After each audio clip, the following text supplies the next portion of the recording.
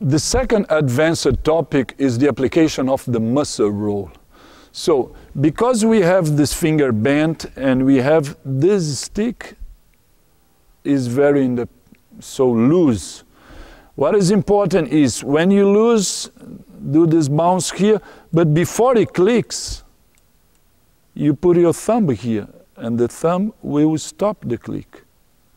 Okay? With this concept, now I want you to try this. Instead of starting the stroke like this, you're gonna start like this. So we're gonna play this stick and the other will drop. Okay, let's start with the fourth position, with the zero position. Probably that's the easiest to understand. This. Okay, and then you have the same thing here. Notice that uh, my hand is not like this, is like this.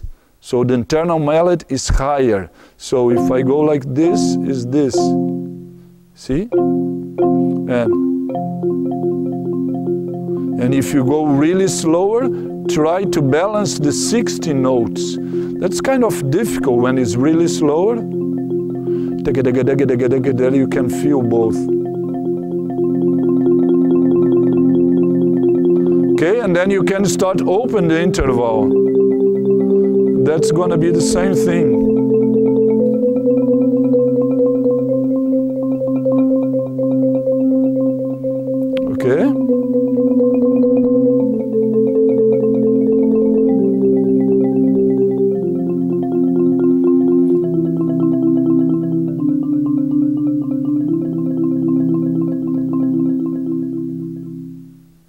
Let's see the same concept on a table.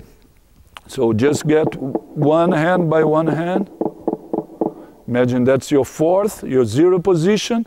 Now loosen this finger here and let the stick bounce. So at first this, play simultaneous at the same time. So you see they are having the same space. So they are, they are playing together. And then from here,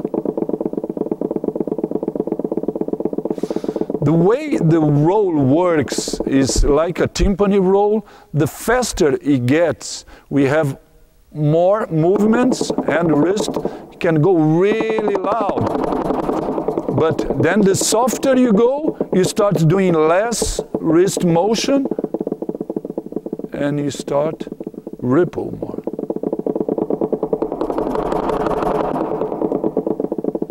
So you have really unlim unlimited power for the forte.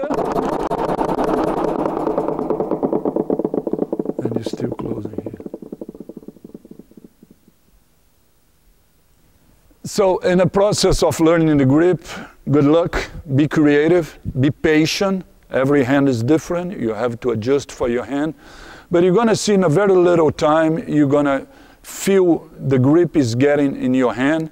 And the important thing, if you really relax, that you're gonna you're gonna have more time to think for the music, to be expressive, to make nice phrase. And that's all about it. We are here to make nice music. So the relax is your grip, the easiest and better will be your interpretation.